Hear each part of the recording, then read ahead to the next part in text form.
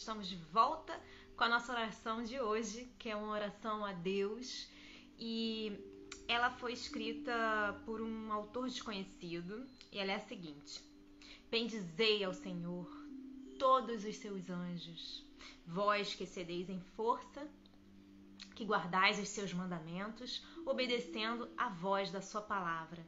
Isso está em Salmos 103 e 20. Princípio emanador Pai onipresente, Senhor do todo e do amor onipotente, que a tudo emanas, sustentas e destinas, através de leis eternas, perfeitas e divinas. A ti rogamos, princípio todo-poderoso, tuas divinas graças de Pai misericordioso, para que teus santos espíritos, os mensageiros de tuas divinas bênçãos, se tornem dispenseiros, dispenseiros de paz e de saúde, ensinando a verdade, o amor, a virtude, para que cheios de luzes e muito conscientes vivamos as tuas leis simples e onipotentes.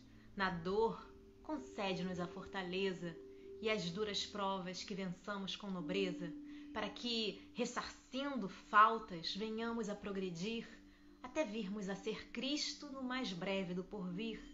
Senhor, tem piedade das fraquezas, de nossas falhas, destas humanas incertezas, fazendo que teus mensageiros em tuas atuações nos advirtam e ensinem, trazendo fartas consolações.